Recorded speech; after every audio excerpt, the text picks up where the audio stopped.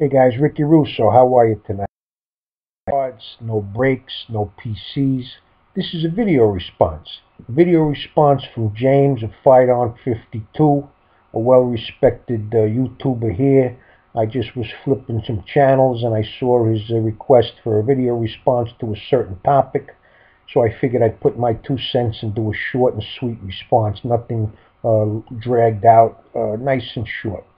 Uh, you all know that I've been breaking a lot of wax, and uh, I got a lot of cards. And uh, I'll start off by saying, years ago, Ricky was a taker. Now I'm a giver. I mean, uh, I changed my life around a lot in the last five or ten years. I'm trying to make a, a, little reservation with the bearded man upstairs uh, because that's where I want to go. I don't like the heat, so I don't want to go downstairs with the guy with the freaking horns. Uh, and I look damn good in white, so that's where I want to go upstairs. And uh, I don't look too good in red or black, and that's what you wear downstairs. Well, anyway, uh, I made a lot of friends on YouTube. Uh, I try to follow what you guys collect and what you guys like and this and that. And it just is a funny note, but half of you guys that I've made good friends with, you, you half of you is like the freaking Packers. I mean, uh, I wish I had enough to send you for Packers a buddy of mine with USC guys, but it's not easy. So what I'm getting at is I like to give away stuff. I really like to see a reaction that's worth the the, or the price of admission, if you know what I mean.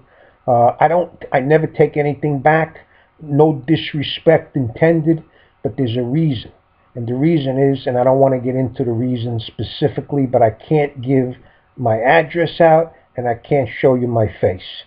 Uh, so with that said, uh, I enjoy giving the cards away. Once I give them away, once I've gifted them to you, uh, they're yours.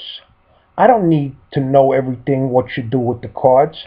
If they're not PC cards or, or cards that you like, do what you want with them. I, I don't care if you trade them for a PC card. I'd rather you do that. Sell them. I don't care. It's out of my hands. I've gifted them to you. But I can understand where you might feel bad if somebody gets a wind of what you did without consulting them or asking them. I mean, you might feel that they'd be offended. But you know what? That's life. And you can't make everybody happy all the time. You know, slip of the tongue, this and that. I mean, really. Uh, but it's a good topic. I mean, it's interesting to hear everybody's views. These are just mine. Everybody's got their own. So I'm not going to stop sending stuff out. Uh, I'm going to continue to try to fill in the blanks for you guys where you might uh, need certain players or certain teams or sports or whatever. But again, if you get it in the mail, it's a freebie. I've, I've made, if I've made you happy, I've done my job. If you don't want the cards, gift them to your neighbor.